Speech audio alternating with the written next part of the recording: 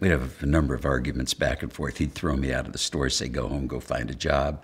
I'd pout for a week or two. My mom would make peace with my dad. I'd go back to the store. He'd throw me out. And I just, and, and as I look back at it and didn't see it at the time, it was a classic father son kind of argument about merit and manhood or value. And I was going I decided quite subconsciously that I was going to prove to my dad that I had real worth and I could do something. But the only language he understood was the business he was in. And so I thought his business was wrong. I'm going to do one that's right. And I invented one in my mind and began playing with it, and making sketches of stores and fixtures and thinking about things that I might sell.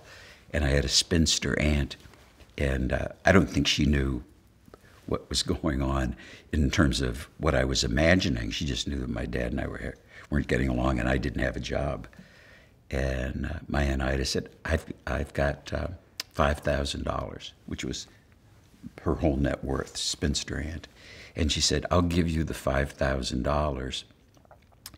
but you have to put it in the bank and promise not to spend it. But banks will loan money to people that have money, I think.